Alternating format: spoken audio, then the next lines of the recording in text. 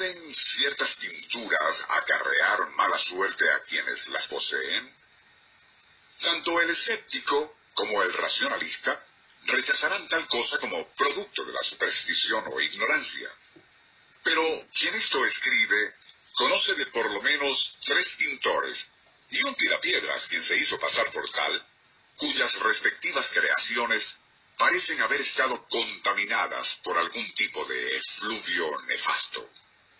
Pues, coincidencia o no, tanto sus cuadros como ellos mismos frecuentemente se vieron ligados a eventos de eso que los italianos llaman jettatura, y nosotros le decimos pava o mavita, aunque en ese aspecto nadie como cierto pintor francés de nombre André Marcelin. Nuestro insólito universo. Minutos recorriendo nuestro mundo sorprendente. Una producción nacional independiente de Rafael Silva. Certificado número 3664.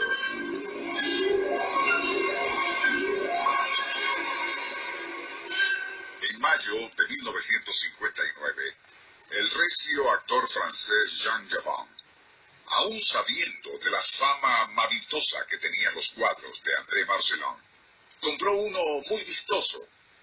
Cierta noche, semanas después, Gavin, quien era fumador empedernido, se durmió con un cigarrillo encendido entre los dedos. De alguna forma, las sábanas de su cama se encendieron y el consiguiente incendio no solo le provocó serias quemaduras, sino que destruyó su lujoso apartamento, en el cual tenía valiosas pinturas de Matisse, Juan Gris y George Braque. Solo el cuadro de Marcelin quedaría intacto. En los años 60, un conocido publicista venezolano compró en París otra tela de Marcelin, pero solo dos meses después pereció en un accidente de aviación. A mediados de los 70, el presidente de una empresa internacional de alimentos con sede en Suiza adquirió otro hermoso cuadro de Marcelin. Semanas después, no solo sufrió un infarto, sino que su esposa lo abandonaría después que uno de los socios mayoritarios de la empresa le escamoteó sus acciones. Como los casos anteriores, hechos aparentemente fortuitos pero sumamente negativos parecían ocurrirle a todo aquel que compraba una pintura de Marcelin. Pero, y si alguien la obtenía como un regalo, aparentemente nada le sucedía de particular. Un estado de cosas que atormentaba de tal manera al infortunado artista que éste, bajo una fuerte depresión, decidiría quitarse la vida. Pero la forma en que decidió hacerlo fue no solo insólita, sino incluso escalofriante. Llevar a cabo el suicidio no utilizó veneno, armas letales o ningún recurso violento. De un autorretrato. Escalofriante.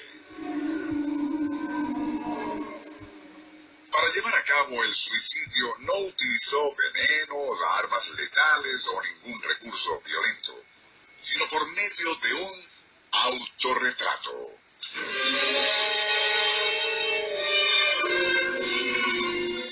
Aún siendo un artista escéptico y nada supersticioso, había terminado por creer que en verdad sus cuadros traían mala suerte y desgracias a todo aquel que los compraba, pero no a quienes lo recibían como regalo.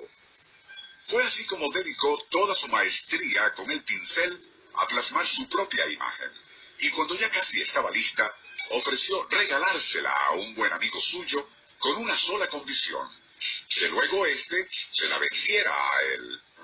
De aquella forma, Marcelón deseaba comprobar si aquel supuesto efluvio maligno actuaría también contra su persona.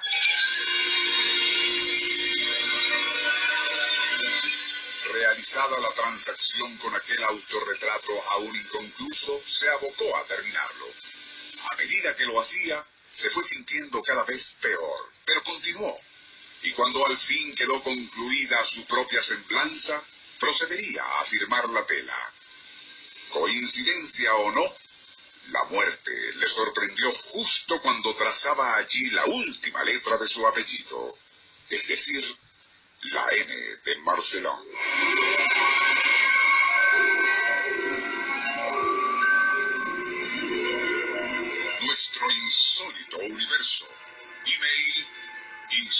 Insólitouniverso arroba